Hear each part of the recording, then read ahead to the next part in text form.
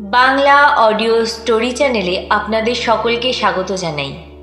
আজকের গল্প ঘরের টুকরো। লেখক বনফুল। গল্পটি নেওয়া হয়েছে বনফুলের গল্প সমগ্র এই বই থেকে। তিনুবাবু অবশেষে হৃদয়ঙ্গম করিলেন। যে ছোট ভাই বিনুর কাছেই তাহাকে এবার যাইতে হইবে। গত্যন্তর নাই। ক্রিকেট খেলিতে গিয়া একটি পা আগেই খোড়া হইয়াছিল। যে চাকরিটি করিতেন, সেটি হইতেও অবসর লইয়াছেন কিছুদিন পূর্বে। মাসে প্রায় একশত টাকা করিয়া পেনশন পাইতেছেন। তাহাতে কোনো ক্রমে তাহার চলিয়া যাইতেছিল।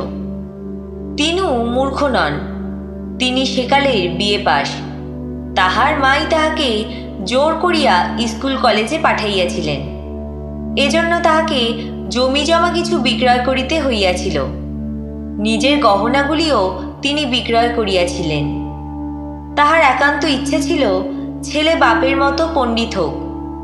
তিনু ও বিনুকে লইয়া যৌবনেই তিনি বিধবা হইয়াছিলেন। তিনু মায়ের আকাঙ্ক্ষা পূর্ণ করিয়া বিয়ে পাশ করিলেন। কিন্তু বিনুর লেখাপড়া বিশেষ কিছু হইল না। সে গ্রামের স্কুল হইতে মাইনর পরীক্ষাটাও পাশ করিতে পারে নাই। তিনু লখনৌ শহরে চাকরি করিতে লাগিলেন। বিনু গ্রামেই মায়ের কাছে রহিয়া গেল পৈতৃক বিষয় সম্পত্তি লইয়া। তিনু বিবাহ করেন নাই। একটু শৌখিন গোছের লোক তিনি। গিলা করা আদ্যির পাঞ্জাবি পরিতেন। গোফে আতর লাগাইতেন। নাগরা পায়ে দিতেন। ব্যবহার করিতেন নানা রকম শৌখিন জিনিস।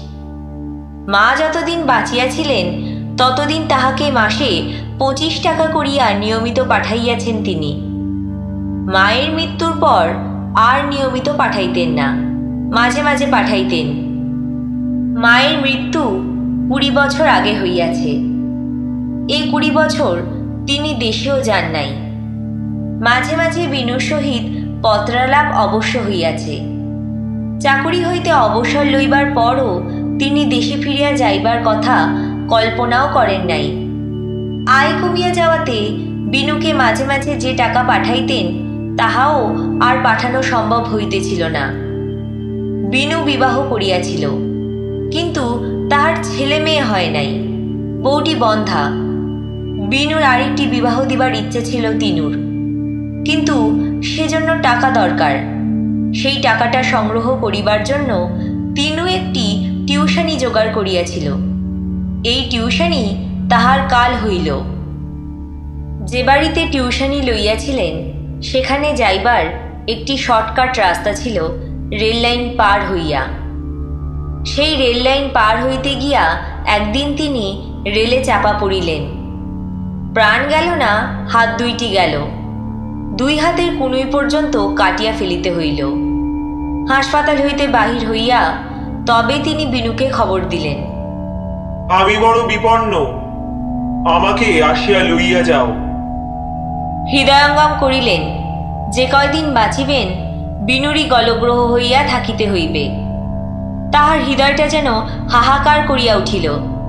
এতদিন যে স্বাধীন নির্ঝঞ্ঝাট জীবনযাপন করিয়াছেন, তাহা সহসা মরিচিকার মতো মিলাইয়া গেল।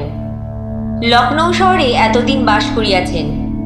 বাংলাদেশের সেই স্যাঁতস্যাঁতে পাড়াগায় কি এখন বাস করিতে পারিবেন? বাড়িতে মা নাই। মাই ছিল বাড়ির প্রধান আকর্ষণ। বিনুর বউ তাহার উপর বিরু। বিনু সমস্ত দিন মাঠে থাকে। সেখানে তাহার সেবা করিবে কে? সঙ্গী হইবে কে? ক্রাচের উপর ভর করিয়া কতদূর তিনি বেড়াইতে পারিবেন? একটা অন্ধকার ভবিষ্যৎ তাহার চোখের সামনে ঘনাইয়া উঠিল। মায়ের মুখটাই তিনি বারবার স্মরণ করিতে লাগিলেন। কিন্তু সেই সূচিবেদ্য অন্ধকারে তিনি কোনো আশার আলোক দেখিতে পাইলেন না। তখন পাইলেন না, কিন্তু পরে পাইয়াছিলেন। তাহা লইয়াই গল্প।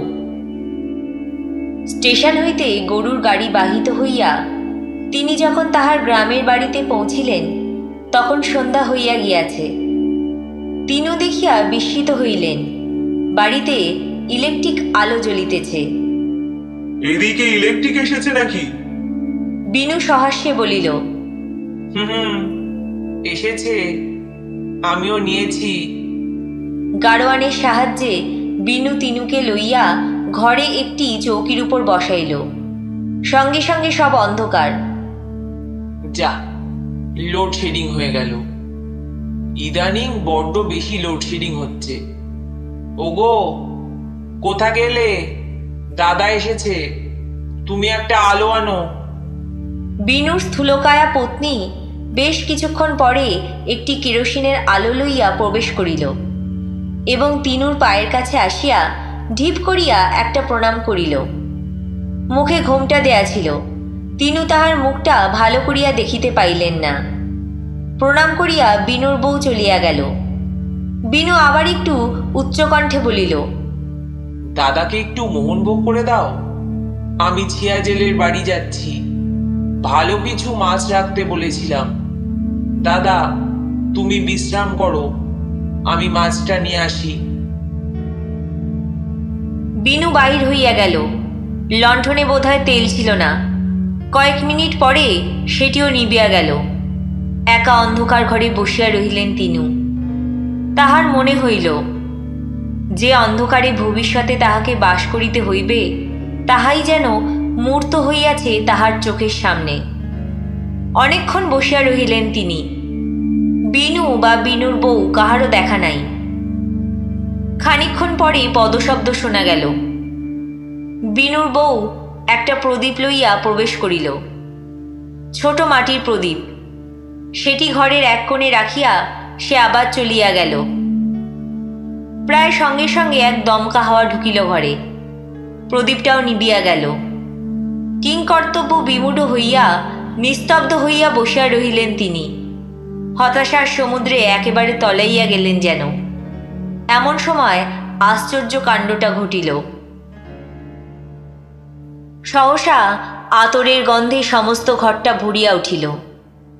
যে আতর তিনি লখনৌ শহরে মাখিতেন এই সেই আতর।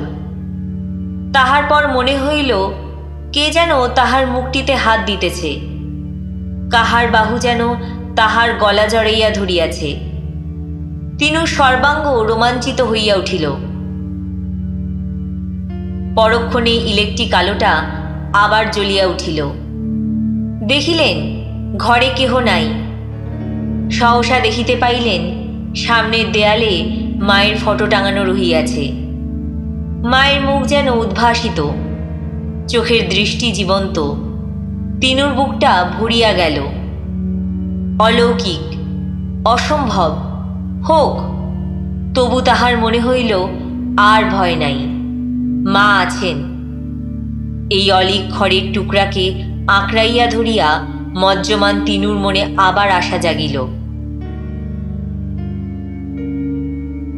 আজকের গল্প এখানেই শেষ। আজকের গল্পের মাধ্যমে এটাই উপলব্ধি করা গেল যে পৃথিবীতে মায়ের স্থান কেউ কখনো নিতে পারবে না। আর মা সন্তানের থেকে অনেক দূরে চলে গেলেও সন্তানকে আগলেই রাখেন। পরের দিন আবার হাজির হব নতুন একটি গল্প নিয়ে। সকলে ভালো থাকবেন, সুস্থ থাকবেন, ধন্যবাদ।